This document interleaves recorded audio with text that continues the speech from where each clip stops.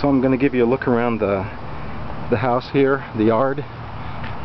Get a look at what it's like here in the spring. Got some uh, spring flowers. Um, things are starting to turn green. Lots of weeds in the yard, unfortunately. Um, you can see the neighbors over here with their flowering trees. Just beautiful. Um, and uh, tulips. Look at this dogwood over here. Isn't that great?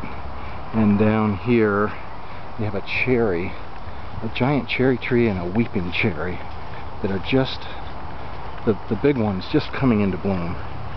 It's really something. And here's a few narcissus coming in. This is the oak leaf hydrangea starting to come in. And here's how our fall landscaping has come through the winter. It's looking looking pretty sharp.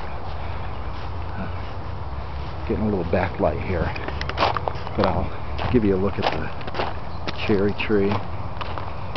There's our uh, prairie fire crab apple. Some more of our landscaping. There's a couple of little plants that we just picked up. We're going to use back here behind. Well, after we move this wood chip pile, I'm gonna plant these as a little bit of a break.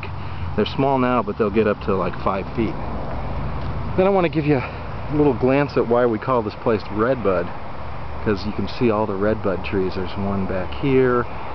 There's actually two in this shot, and if I come around the garage, you'll see they're just in really top shape right now. We got this one up against the garage.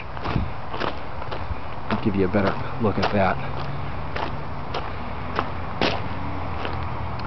And then a couple more uh, along the perimeter of the property over here. Here's our cardinal bush. This thing is really amazing. It's been about this way for a week. I think it's starting to drop some of its petals. And then here's another red bud here.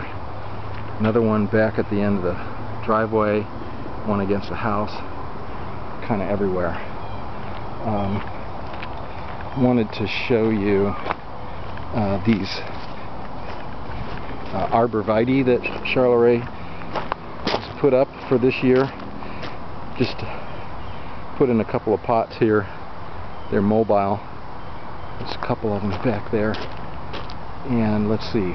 I uh, wanted to show you this weed that we have in the yard. We've been trying to get rid of it. We had lawn service last year and we thought it was going to get rid of it, but it's back with a vengeance. So I've tried a type of a